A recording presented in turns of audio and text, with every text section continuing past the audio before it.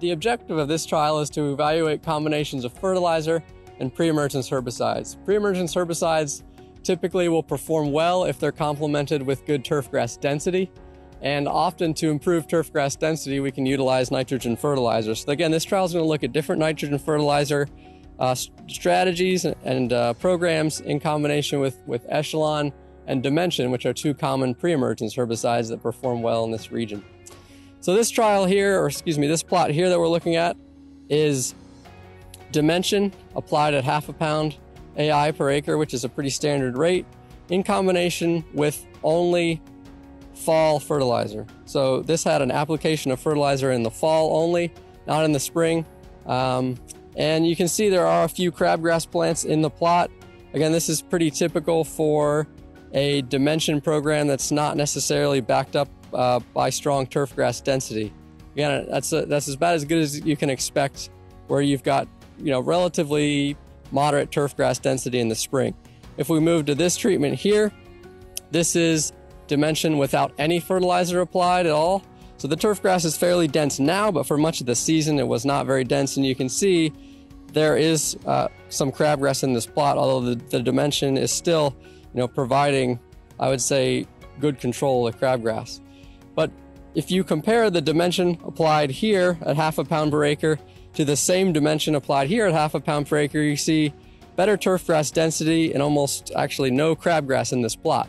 And this was fertilizer applied in the fall and in the spring, and this is a Harrell's Polyon uh, fertilizer product to promote, again, good turf grass density. The turf grass density of this site was fairly poor uh, last fall when this experiment started.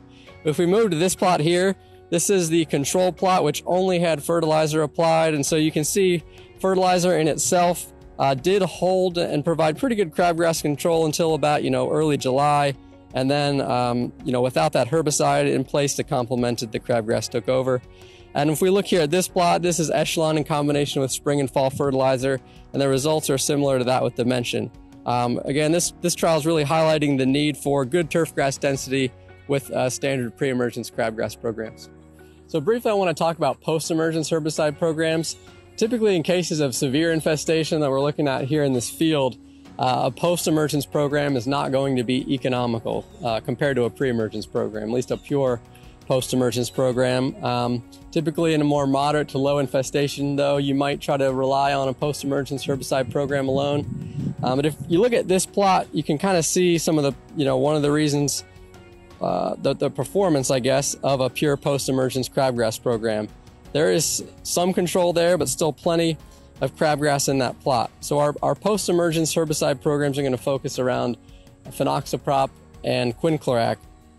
And so the key to remember with these herbicides is that often, especially once the plants get large, like you know, once we get past the middle of July uh, into August, you will require multiple applications of these products to get control of large plants. One application will suppress them, and, and two applications, though, is commonly needed to control those plants. You can also use post-emergence herbicides on smaller plants, um, and that is an effective strategy to control those plants. But typically what you see is unless there's a pre-emergence program in place behind it or a dense stand of turf grass, um, seed germination throughout the summer will ultimately result in those programs not working as well either. So again, in a, in a severe infestation like this, what you'd want to focus on is a pre-emergence herbicide program, a strong management program that might involve fertility to improve that turf grass density, and then have a post-emergence herbicide like quinclorac or fenoxaprop on standby uh, in case there's breakthrough in a severe weather year. I'm Dan Tuck. I'm the program technician for the Weed Science program here, and I'm going to talk about a multi-year project that we've been working on, uh, looking at alternative options for crabgrass control. So due to the increased demand for uh, organic maintenance and due to uh, increases in pesticide bans or regulations, um, we've been looking at what options are available for crabgrass control. Right now, there's really not many that are successful other than what we can do culturally. So this project's looking at um, The available herbicide right now called Fiesta, which the active ingredient is chelated iron. And this uh, product is exempt under a lot of these regulations that are being passed. And we're also looking at, uh, they're coming out with an experimental formu granular formulation that is also a chelated iron.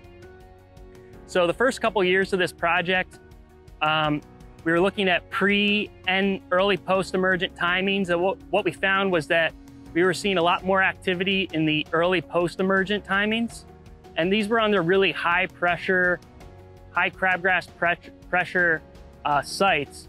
So this year we're, we're kind of really focusing more on a, um, you know, a moderate infestation with a high quality stand of tall fescue. And we're focusing more on those uh, early post-emergent timings and uh, seeing the difference between you know a single application and sequential program. So, like I said, this is a kind of a um, alternative to conventional crabgrass control. So it's kind of a, a, a situation where it would be a high-end organic property or um, high-end property in an area that is undergoing pesticide bans or restrictions.